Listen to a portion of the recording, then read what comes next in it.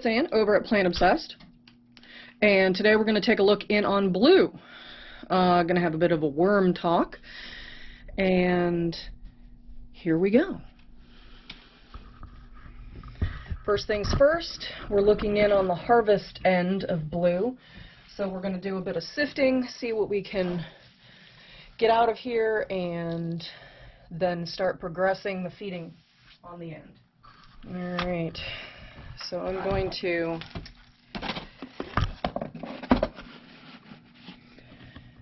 Here's the little bit of a lid, but this is what I'm going to harvest onto. So if I, it's, it's actually kind of ideal to have some worms in with your finished castings, especially if you're going to not use them right away. That way they can keep working through things and keep the whole thing going.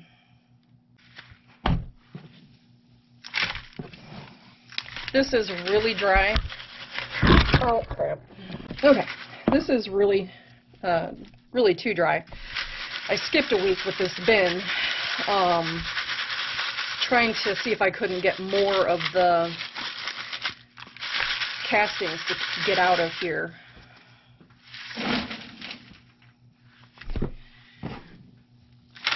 Uh, was gone long enough that there was a huge spider web that I had to contend with before I turned on the camera you didn't need to see my uh, spider ninja skills uh, trying to wrap a spider up into a, a cup, trying to relocate him. Or her. I suppose it could have been her.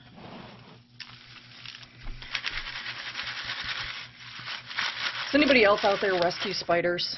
I know some people are like kill on, you know, on sight.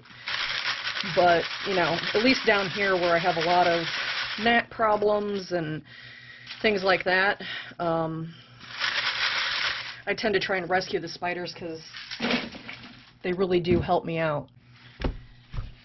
Now, as I have been doing before, I am keeping the, uh, the castings until I think these will probably be dry enough to sift through the smaller one. But I am still trying to rescue cocoons and whatnot.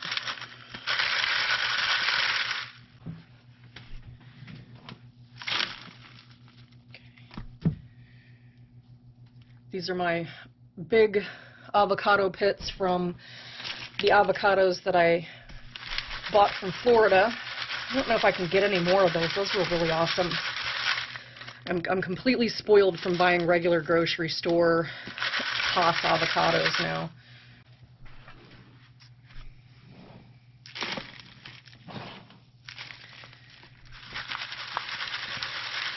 It was really nice. The avocados were kind of stiff enough that you could cut out and put in a salad and they didn't just turn to mush. I thought that was actually really nice.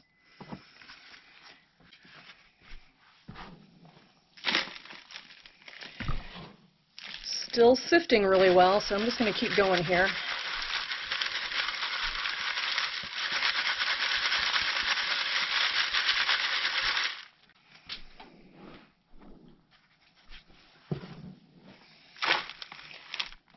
The furnace has not kicked on in Illinois, but we are swinging between, uh, you know, like 45 degrees at night and like 90 during the day.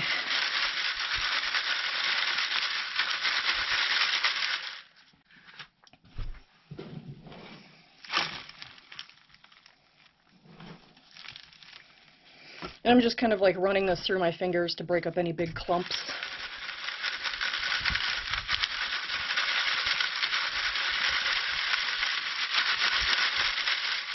And if you think that it would be useful for you to have uh, these uh, screens, they are in my description uh, in my pinned comment below if you wanted to buy the exact same thing that I have. They've been lasting for about, I mean, five years, and they don't show any sign of giving up on me. I wash them, I scrub them, I use them for bonsai soil, I use them for this. Uh, they're really really, really nice screens. I don't dole out compliments easy, especially not on products, but you know, it's lasted for more than five years with the abuse that I give it.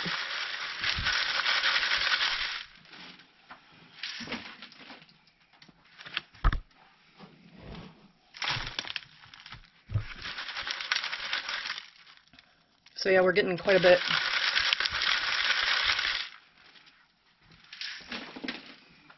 Probably about more than 50% right now, I would say. Somebody was asking me about uh, like soda containers and whatever. Here's an example of a piece of uh, cardboard from a soda container, and it does take longer than junk mail or Amazon boxes because it does have that coating on there. Um, but it will break down.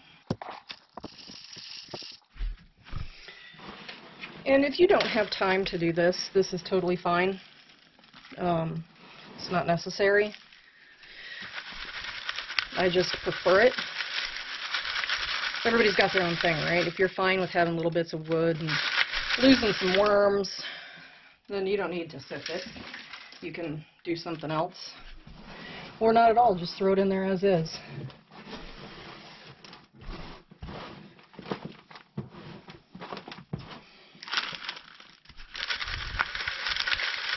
So I think this actually might be the end as far as harvesting this end of, uh, for this iteration of the bin. Uh, everything is dry enough that I can sift everything through. Okay, well that is that is the it. That is it. So let me move you over here gently. And so this is what we got, and I'm going to put that in with the bin that I'm going to sift through the 1 8 screen so that I can recapture the cocoons. Alright, I'm going to get this moved out and I'll bring you back. Alright, you can see we got that whole end cleared out. So, and I forgot to watch the video again, so we're going to have to, oh geez, we're going to have to go through and see what we can find. So, at this point in time, if you're new to watching this bin, this is the oldest end currently, and this is the leading edge where I have been feeding and also putting new bedding. So let's look at the older end and see how it is doing. Okay, now I've had this lid sitting on there, so it has been retaining the moisture in this end uh, it gets to be this time of the year, and you never know if the furnace is going to kick on or or what's happening. Um, so I kind of, you know, in that transition period when it gets, uh, you know, down to 40 degrees, you know, I'm always concerned that the the furnace will turn on and start turn on and quit, you know, leaving everything nice and moist and dry everything out on me. So this looks like it is doing really well. In fact, we might have to start drying this end and uh, getting it ready for harvest. I think I fed at both both ends, so it's been probably pushing two weeks. But let's see if we have any food left and if there's any worm ball. Of course, there's a good concentration of worms all throughout, but I don't think we're going to get a worm ball. We've got some um, tomato peels here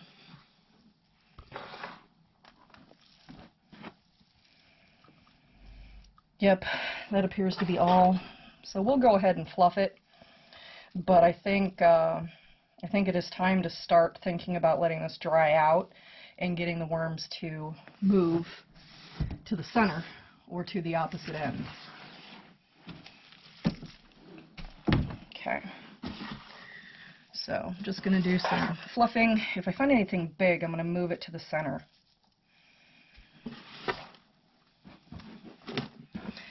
Make sure the moisture is homogeneous all the way through, especially if this is going to start getting uh, harvested soon, uh, banana stem.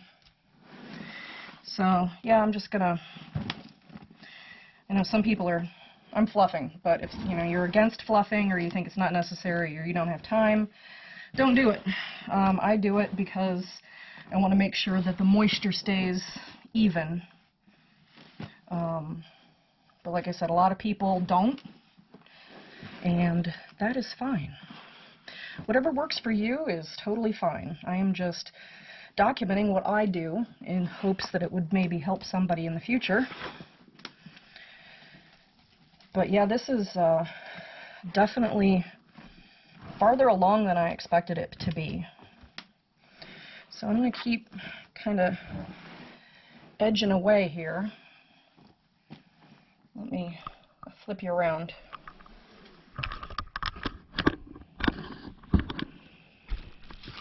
Okay.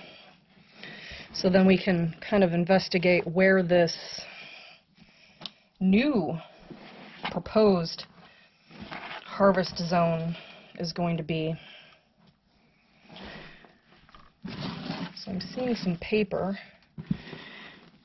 but with the way I fluff everything up, who knows if it's, you know, just from one end or the other. Because this still all looks the same to me.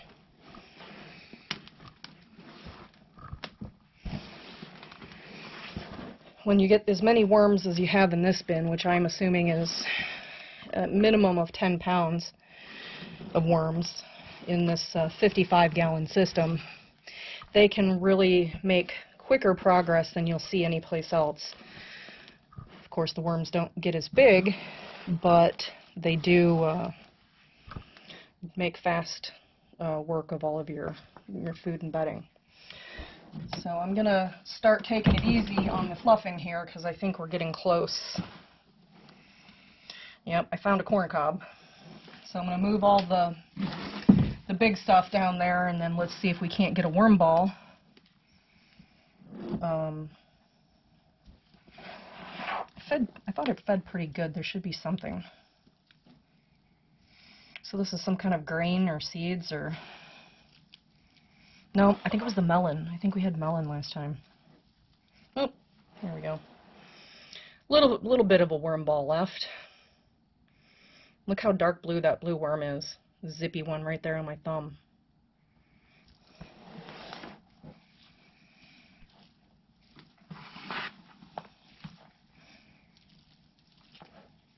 But yeah, it looks like uh, after two weeks, they have gone through most of that big feeding. I mean, we have a higher concentration here in the middle, but nothing that you would, you know, designate as a worm ball.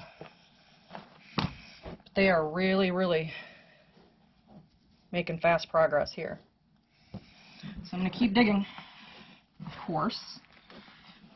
It's kind of my thing. Okay, so now we're getting into the the new bedding here once we are at the center line. Alright, so I'm going to kind of put this intermediate stuff here. I'm going to pick you up again. Alright, so here's the difference between the stuff that I'm considering almost finished and what I'm calling intermediate. You can see it's a lighter brown. Um, still has probably more paper pulp or whatever in there. So you can see where this is almost done this is slightly less done, and then of course down here it's less less done. So let's dig into that portion and see what kind of progress they're making.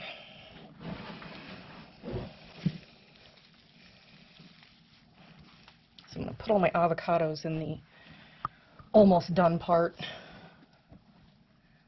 because I am trying to sprout those Florida ones. But yeah, this is getting a little dry in the middle here. What? Oh, oh, we do have a worm ball. Yay! There we go. I just didn't go far enough. Oh, more, more? But wait, there's more.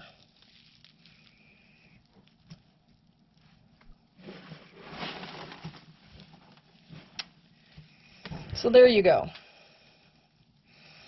won't leave without a worm ball. So that's that's a good amount of worms. That's probably over a pound. And a little bit of melon left. And paper.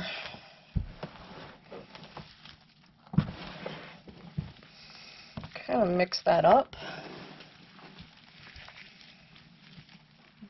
Of grab all the big corn stalks and the sticks and stuff, and we'll put the feeding, the new feeding for today on that.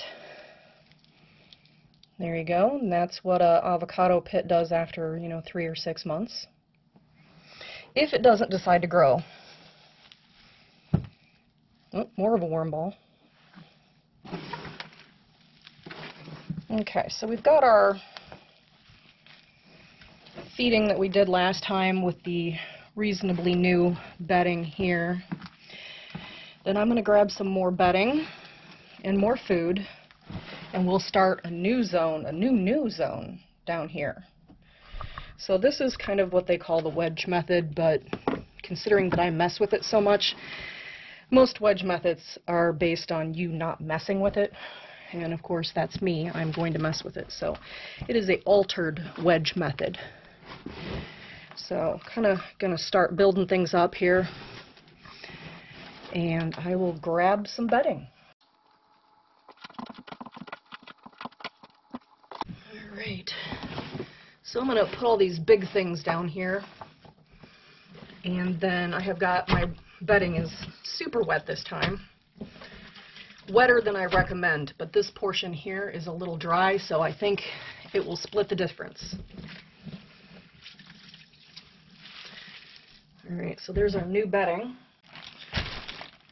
And then I think I will probably give them one bag of food and I'll put it right here at the divider. Um, so more melon. Get that kind of moved across. There we go. So bread, melon, avocado, and then I'm just trying to make sure all the big stuff gets tucked under so that it can possibly get done. And then what I'm going to do is I'm going to top this up with the stuff that was on top of the screen. It contains all of the drier material as well as quite a few worms as you can see dancing through here. And that should be a good barrier against the um, flies or whatever. And then I am going to go ahead and I'm going to cover this section now instead of the part that I think is nearly finished. I'm going to let that start drying out and hopefully let the worms start moving in this direction. If you have any comments, please put them below. Um, I like hearing your opinions and um, any sort of advice you can give me if you do something similar. Uh, always looking for suggestions. Uh, I don't really, um, I've been doing this for a while, but I'm not going to say I'm an expert. This is my journey. This is me and my worms. Um, I give advice, it's true, but I'm not saying that, you know, my way is the, the right way. It is the right way for me. Alright guys, well, if you liked the video, give it a muddy thumbs up. If you're not a member of my worm family, click that subscribe button, and if you want to know what I'm doing when I'm doing it, please turn on those notifications. Alright guys, thanks for hanging out with me and my worms, and everybody, have a good day.